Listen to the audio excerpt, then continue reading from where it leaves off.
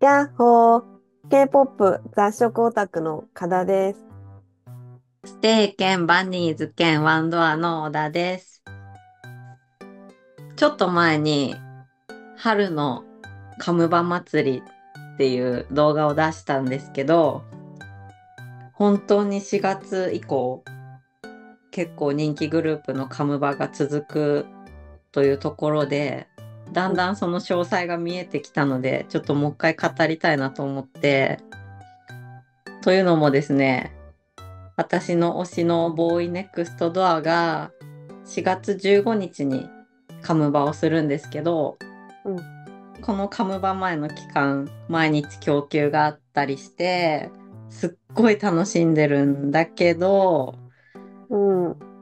昨日の夜突然ライズが情報を投下してですねうんうん。正式なカムバは6月みたいなんだけどうん。先行シングルを4月18日に出すと。おー。で私普通にライズも大好きなんだけどうん。こうやっぱりライバルとしてはめちゃくちゃ怖くてうん。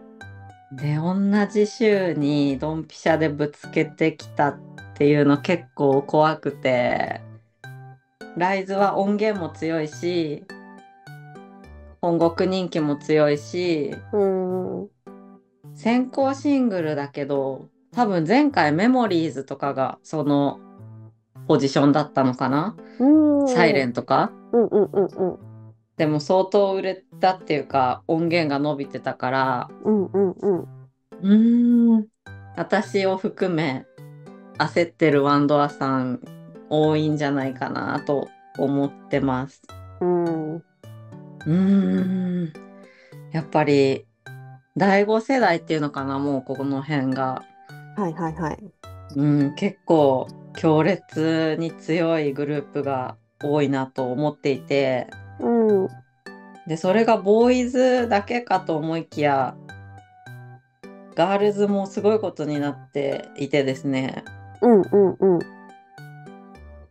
あのアイリットうんが歴代ガールズグループ初動売上記録更新でうん1位になって。うん。まあ、人気あるし歌もいいしって思ってたけどニュージーンズを抜くとは思ってなくて。そうね、そうね。うーん。なんかね今日あゆねくのパフォーマンス見返してたの、なんはいはいはい。か懐かしくって、うん。でもやっぱあれを見てて 今のこの状況を誰も予想できなかっただろうなって思思った、あそうそう。で土賞うん。でも1位を昨日取ったし。うん。ほんと華々しいデビューを遂げて、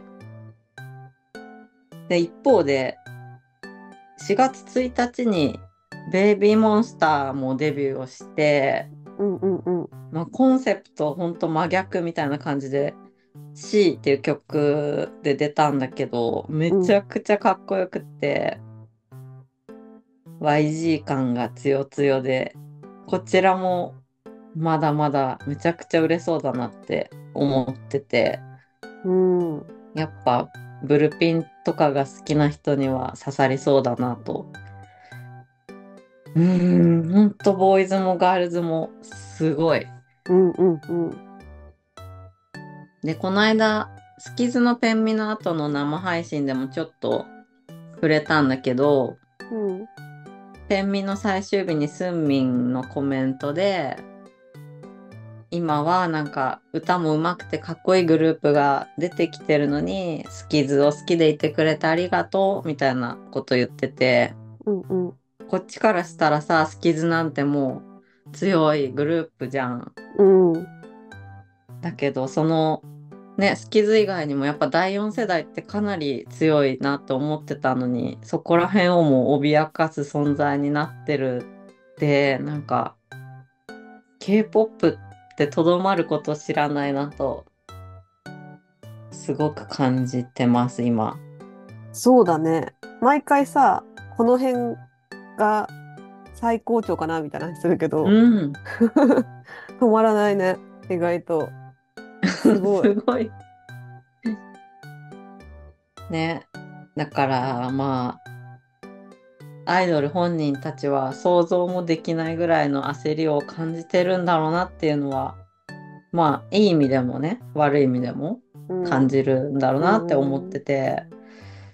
でさ、ボーイネクストドアの今度のカムバのショーケースが、うん佐野くをもうやってるんだけど、うん、うん、すでに。早いそう。で、その日にメンバーの何人かが泣いちゃったっていうレポが出てて、うんその日の夜、リーダーのジェヒョンがね、ウィバースに投稿した文章がこれなんだけど、うんちょっと日本語訳変かもしれないんだけど、うん、私が流した涙の重さがどれだけ重いのか、私がなぜ愛する人たちと長く一緒にいたいという理由で涙も流して努力するのか、今回の活動を通じて証明したいです。私がたくさん泣くと思われるかもしれませんが、ボーイネクストドアを愛しすぎて、バンドアを愛しすぎて流した涙だったので後悔はありません。本当に僕たち6人の多くの感情と思い出が詰まった今回の How アルバムを期待してくださいって書いてて、うんうーん。まあ私は本当にボイネックの音楽が大好きなんだけど、うん。まあ、ハイブからデビューして、うーん、数字で比較されることも、まあ自分たちもきっと比較しちゃうだろうし、うん。うーん、なんかさ、実際日本のアイドルってデビューしちゃえば割と安泰な感じがするけど、うん。K-POP はね、数字で今後のね、活動が変わってしまうこともあるだろうから、うん。愛する人たちと長く一緒にいたいという理由で涙も流して努力するっていう一文になんか胸が痛くなっちゃって、うん。うん。うん。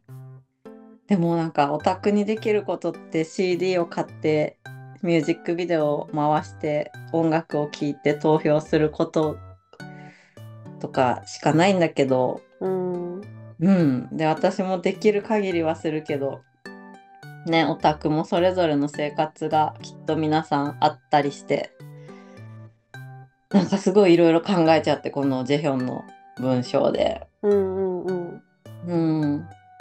まあでも、やっぱりアイドルとファンが一体になって進んでいくっていうところが K-POP の面白さではあるのかなと思ってます。うんうん。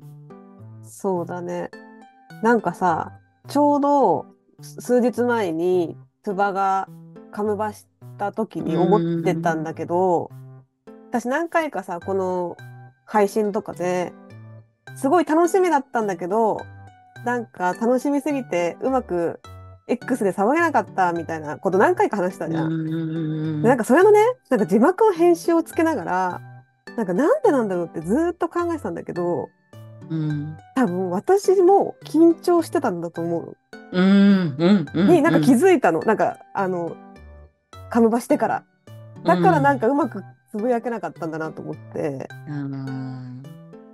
わだかる。いやそう、うんまあもちろん本人たちが一番さ緊張とかうんプレッシャーとかあるんだけど、やっぱ出た後にどうなるかとか、本人たちがどれだけの思いをしてカムバするかみたいなのを思ったらなんか緊やっぱ緊張しちゃうんだよねこっちも。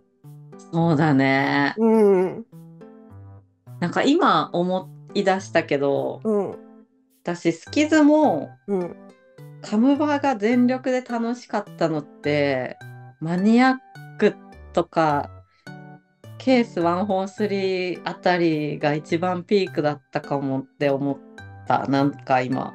ピョレピョレがすっごいバンって売れてさ、うん。なんかそっからやっぱ数字みたいなのすごい、まあもともとね、数字は大事だったんだろうけど、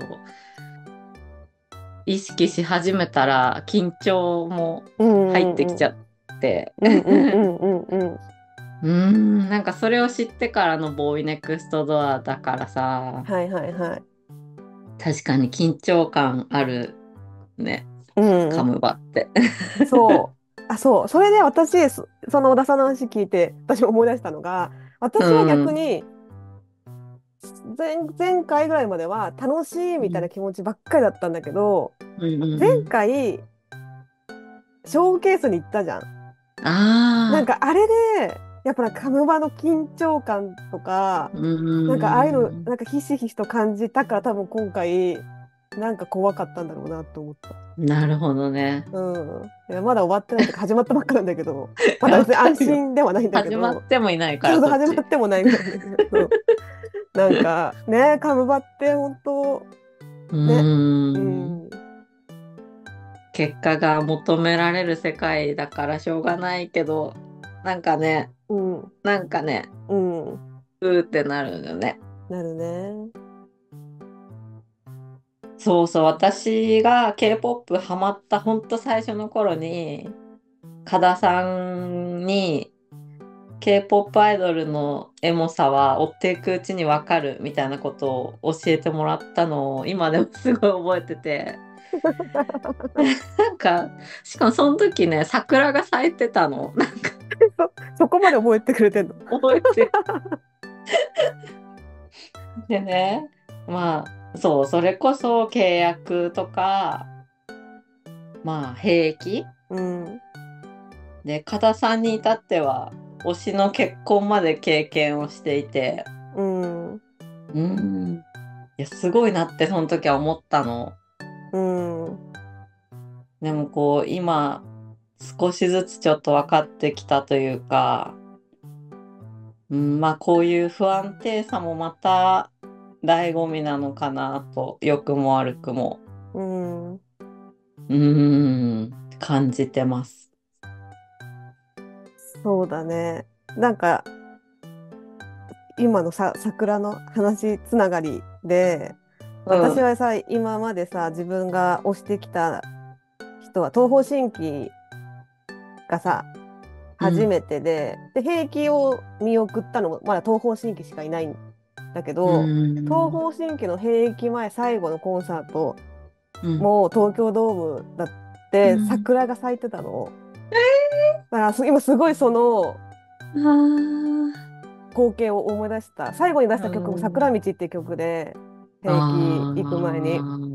すごいなんかそう思うと桜の時期ってなんかいろいろああるな、いろいろあったなって 今思思い思い出した めっちゃエモくなっちゃった。エモくなっちゃった。